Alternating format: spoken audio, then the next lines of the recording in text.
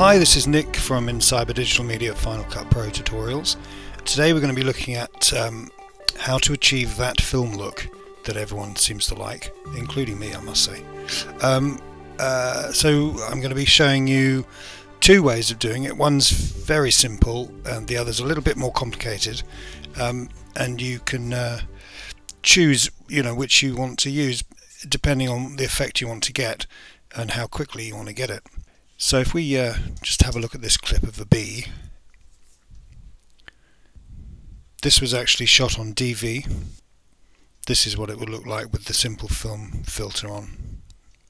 So you can see that uh, there's a slight blurring, the colours are a bit richer, um, it's a little fraction darker, so it's slightly softer, it's a bit grainy, um, and that's what film looks like really. Um, the, the, the basic things are slight glow or blur and uh, slight graininess and um, also a slight color tint. I mean, it depends what sort of film stock because every film stock is different, and it'll depend on lighting and lenses and uh, all sorts of um, environmental um, things as well as to what the film will come out looking like. Um, but what we're going to do is just be very generic. We're going to say we'll add some blur and we'll add some noise, some grain rather, and um, leave it at that. Okay, so what we'll want to do is uh, copy our master and paste it over here. So we've got this nice lovely shot of the bee on the flower from London stock footage. Um,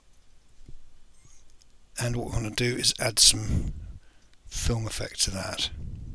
First thing we need to do then is to duplicate the clip. So it's uh, alt and then drag up. So we've got exactly the same shot.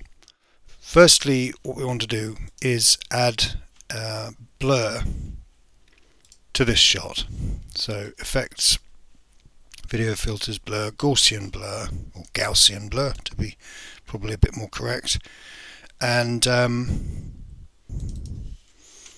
I'll set that to about radius of about 8. Um, now what you do now is drop the opacity down to about 65 and also add the composite mode of overlay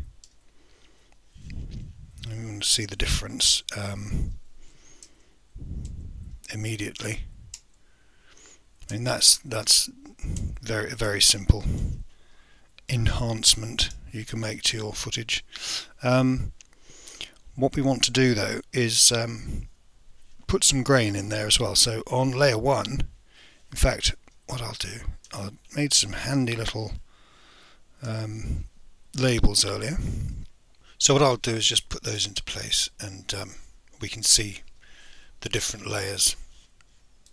Okay, so now we can see the difference. So this one is the original, untouched, no filters.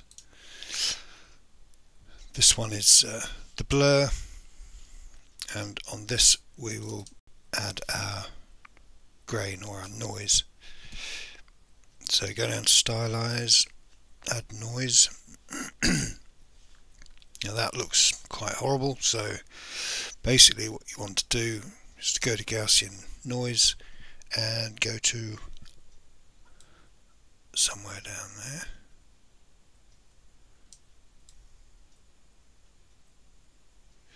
About 0.1, maybe even less and you can just see there's a very soft grainy effect to that which comes through on the center panel. There. So what we'll also do with this is add uh, a tint a very subtle tint of color now all film stock film film stocks vary in the, the, the way the color affects the image the end picture. So we're just going to use image control tint. And we don't want black clearly. Although you might do. I mean it's up to you. But uh, what we'll do for this we'll just add a sort of fleshy colour. Again film stocks do vary and you could go for a, a, a sort of pale blue if you wanted. Um, but um, we'll go for the, this fleshy tone which is very light sepia actually. But once you add it to the colour um, you can see there it sort of looks a little bit washed out and uh, nice. You can drop that back say about 80 79 80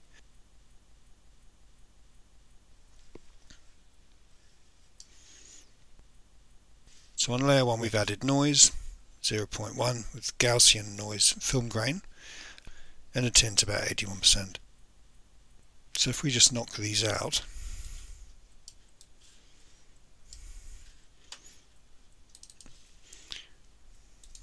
and uh, get there. There's your finished film look. I'll just render that.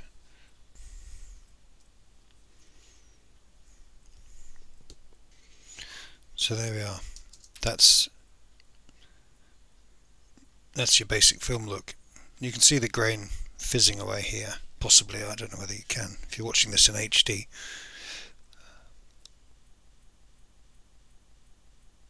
What you might also want to do, um, it's a very popular thing these days, is to put a sort of vignette on it.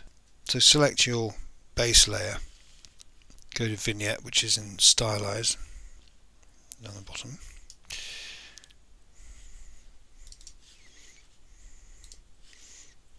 You have to be pretty careful when using a vignette. If it's on a, for instance, a, a bright blue sky, you're going to probably notice some banding around the area that you've vignetted.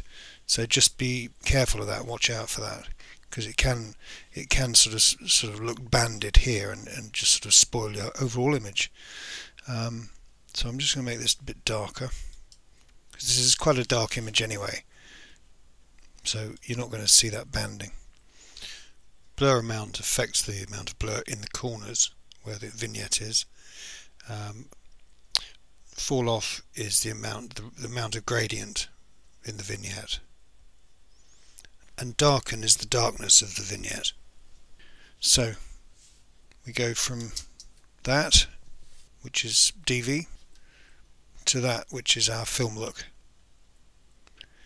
You know some may prefer the original but it depends what you're working on and what, what effect you want to get Okay, so as you might have guessed, I've run out of time. Um, what I'll do is uh, post the other film look tutorial up uh, as a part two to this, so uh, check that out as well, because that uh, shows you a different way of doing it. If you want to uh, get in touch, contact me through the website or my YouTube channel or on Twitter. Okay, thanks again for watching, and uh, hopefully catch up soon.